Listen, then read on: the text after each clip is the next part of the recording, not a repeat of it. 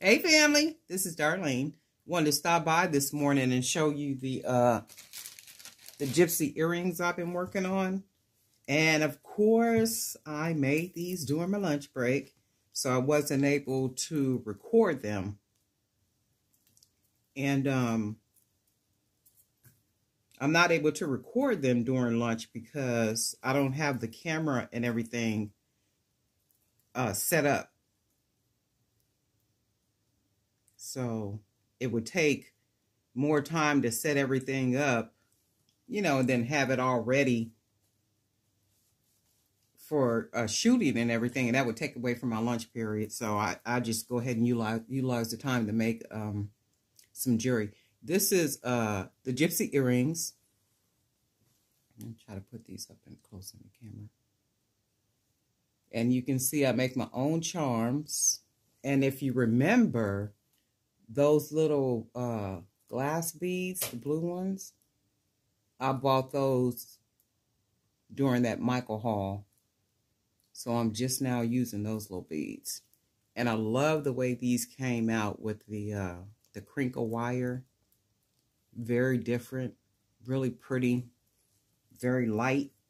I like these.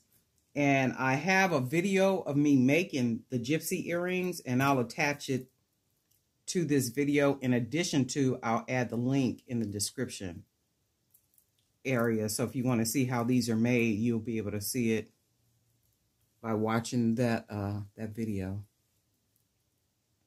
Aren't these pretty though?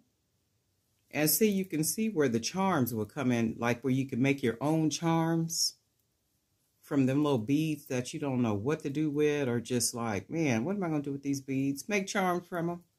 And I think I'll do a separate video showing how to make the charms. And it's real simple. Just the wire, you know, put your little bead, like if you're going to make an earring, and then attach it to whatever you want to attach it to. Because they're very different. They're very unique. And you can see even like with these, you got your, this one has uh, four little charms dangling from it. And I used 18 gauge wire for these. Very lightweight, easy to wear, just very different. A simple earring, something you can throw on. You could actually dress these earrings up or dress these earrings down. Nice little pair of jeans, a little graphic t-shirt.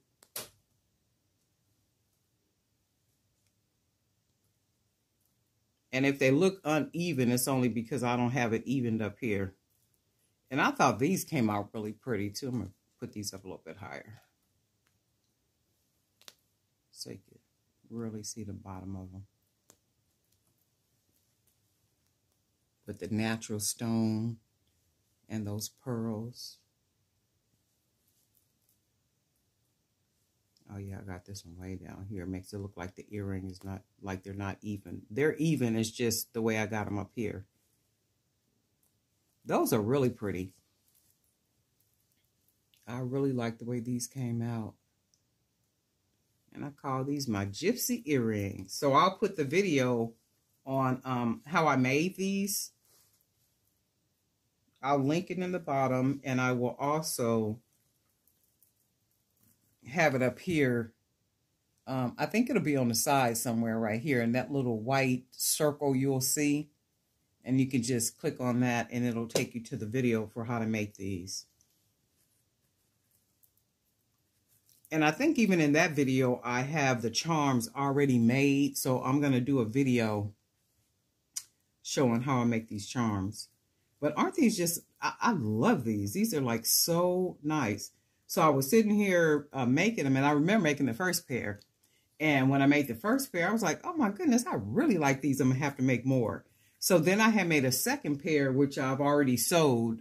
Um, my niece came through here to, uh, she always come through here to buy jewelry, right? so she got that second pair. So um, after I made the second pair, I said, oh no, I'm to just have to make more of these because I really like them. I love how different they are, you know, just the way they look, just really great. And I used this little wood piece to create... Uh, the hoop. So this hoop right here or this little rounded area right here, I use this wood piece to create the earring part, this part. So I just kind of wrap it around and then, you know, twist around, make my hoop. And then I got that round part. But the video will show you. So that video will be linked in there. Um, I've been working on some some custom pieces. I'm good for custom pieces. And I've been also working on some of the boxes. I don't know if you guys know about the little, uh, I call them my stash boxes. Uh, the stash boxes, I have a couple of people who buy the stash boxes and they buy those stash boxes in uh, cases. So it's 12 in a case. So Mother's Day is coming up and what they do is they use the boxes to put in baskets that they make. So they're getting ready for uh, Mother's Day.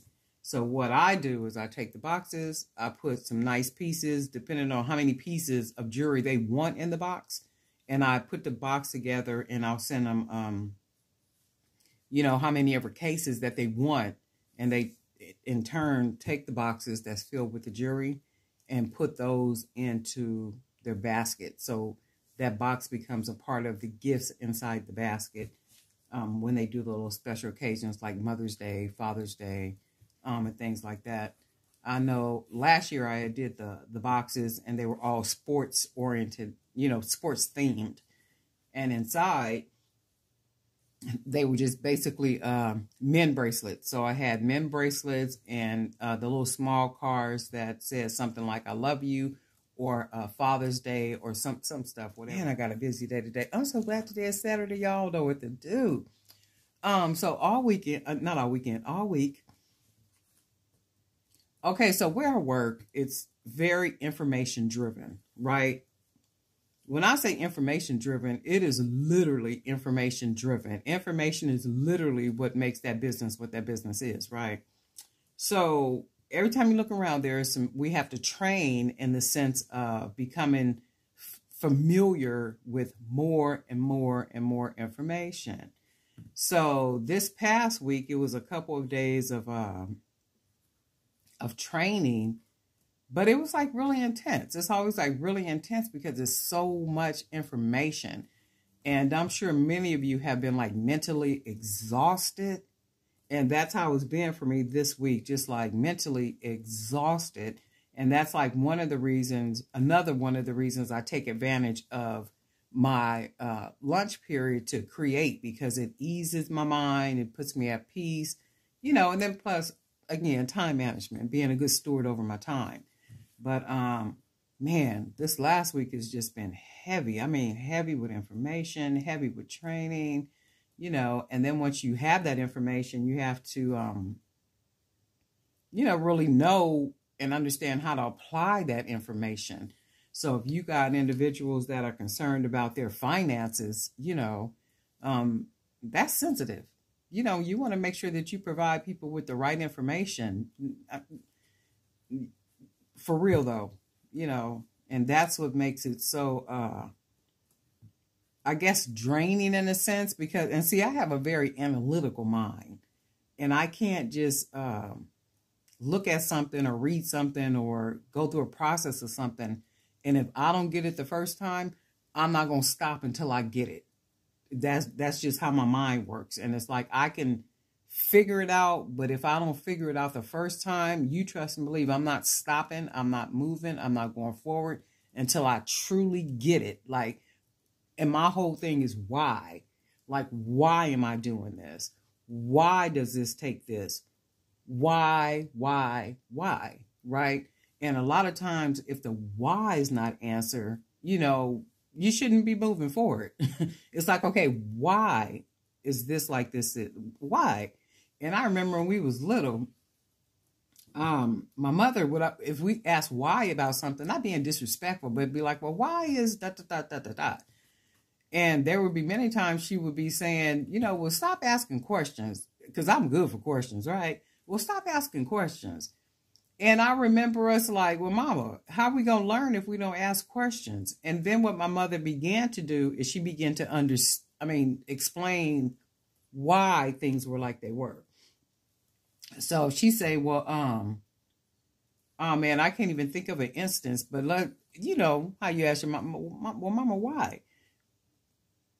And that's what she began to do. She began to explain things instead of just saying, well, stop asking questions or, well, you don't need to know that or shut up or she stopped doing that. And that was one of the most beautiful things she could have done for us was to begin to explain.